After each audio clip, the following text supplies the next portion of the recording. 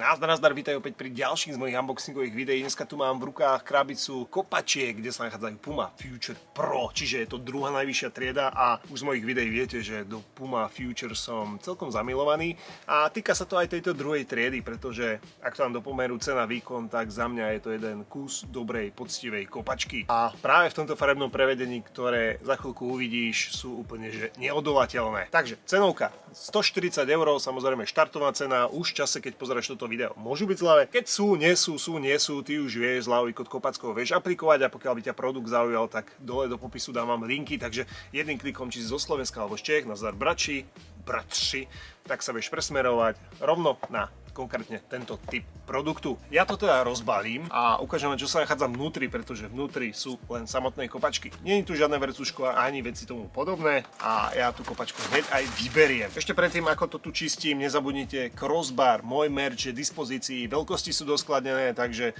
crossbar SK, pokiaľ by ste chceli podporiť aj moju tvorbu, za čo vopred díky. Takže toto je najnovšia kolekcia Puma Future Pro. Je to kombinácia bielej, čiernej a červenej. Mne osobne sa to veľmi ale veľmi páči. Určite ho do komentára, či sa ti ľúbia tiež. Tak to vyzerá podrážka.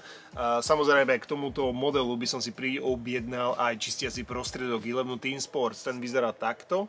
On stojí nejakých 5-6 eur, ale určite sa oplatí do ňo investovať, pretože ak chceš, aby biela bola bielou, tak toto sa ti určite hodí. Poďme teda k tomuto modelu. Ešte teraz, keď sa bavím o tej farbe, pokiaľ by ti biela nesedela, je v dispozícii aj čierna, takže dokážeš kúpiť čisto čiernom prevedení. Tento model veľmi, ale veľmi pripomína práve tú prvú triedu a keby mi dáš teraz do, do ruky prvú triedu a túto druhú, tak normálne mám problém to rozoznať, pretože fakt tá druhá trieda sa veľmi, veľmi podobá práve tej prvej triede, aj čo sa týka toho obutia, obopnutia nohy, pretože tento model je fakt veľmi príjemný na nohe.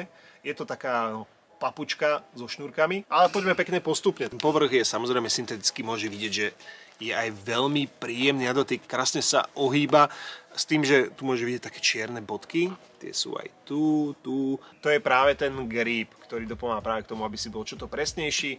Je to typ kopačky, ktorá je taká univerzálna. Určite by som mu vedel odporučiť útočníkom, obrancom, záložníkom, ale dokonca aj brankárom. Fakt určite, keď toto vyskúšaš, tak neobanuješ. Ďalej, čo musím spomenúť, a je to jedna z tých najlepších vecí, ktorú tá Puma Future má, je práve ten gumičkový systém, ktorý dokonale obopne tú nohu. Čiže ak máš ten nárd aj vyšší, nemal by si mať absolútne žiadny problém. To ti garantujem. Aj čo sa týka šírky, nemal by si mať absolútne žiadny problém, pokiaľ nemáš nadváhu plus 50 kg, hej. Aj vstup do tej kopačky je úplne, že lahoda, pohoda, proste sú to, sú to tzv. papučky. Častokrát sa ma pýtate ešte, ako vyzerá vnútro tá peta. Je to klasická peta, nie sú tu nejaké extra vankúšiky. Ako nejaká tá pena tam vždycky je, hej.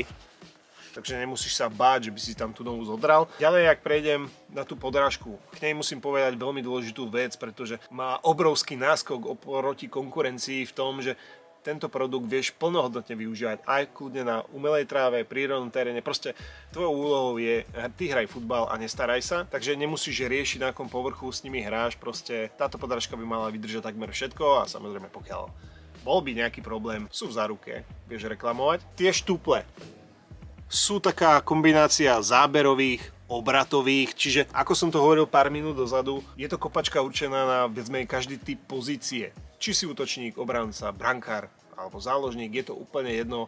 Táto kopačka by ťa mala podporovať jednak obratnosti, ale aj tom zrýchlení, tej rýchlosti.